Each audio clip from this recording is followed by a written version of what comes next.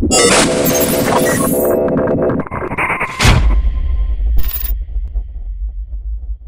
Watson here with ANGT TV with Orlando Smith at the Julie Palmer, first place winner of the heavyweight division.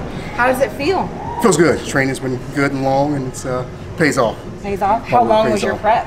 Uh, five months. Five months. Five months. Mm-hmm. You hear that? Not just weeks. Five months. Five months. Yeah. What I've been training all my life. Yo, yeah. This is, how many shows is this for you this year? This year this is my first this year. First this year. My next one will be a pro qualifier. That's awesome. That's Whoa, awesome. way to go, so you're Orlando. gunning Thank for you it, very much. you? Thank you. Yes. Yes. Yes. Yes. So what? Um.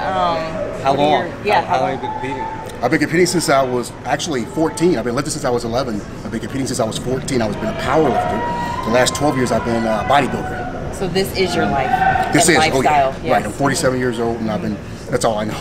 Yeah, that's all I know. awesome. So, Christina, maybe an adversity or challenge? Any Or what- any challenges with the show? Any um, or Every- in every show. general and life challenges too?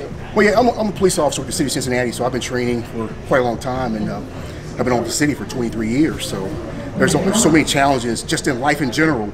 And the key thing for everyone to always remember is that you, got- you got to have faith in something. You have to have some type of positive Right. reinforcement to get you through anything, and it will get you through anything. And, um, I'm a prime example. I've been involved in a lot of things in life, and uh, some not good, but uh, it's, it's worked out for us.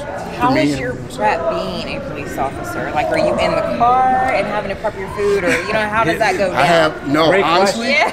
I have the greatest fiance who takes care of everything for me. I never, I never asked her There once. Yeah. I never asked her once. We've been dating for on and off for 20 years. We've been together for the last four Wow. years. And I told her I was getting ready for a show. And the day I came home, she had her routine already set. How she's going to prep meals. She's never done this before. Yeah. She said she had how she's going to prep meals, when she's going to prep them, as soon as she gets home from work. It was like a routine. That's She's like a robot. You it was super that. great. You She, she really took care of me. Yes, that's She deserves so all credit. That's Yes, I am. You need that backing and that support Yes, from whether it it's be so a critical. trainer, a friend, or Very spouse, critical. or whoever. Because not only is this mentally challenging, but also it's challenging finding that balance in relationships as well. Especially So, in yes, It's very, relationships. it's very hard. And I'm going to rewind a little bit because you said a very important word faith. Faith. Yes, sir.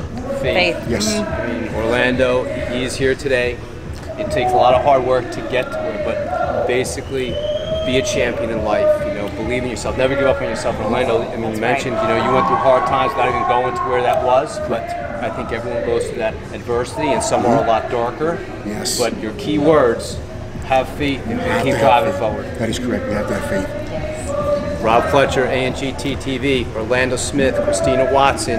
Keep it real. Stay true to you. Thanks for watching, and as always, like the video, share the video, subscribe to the channel, and please be sure to check out all of our social media listed below.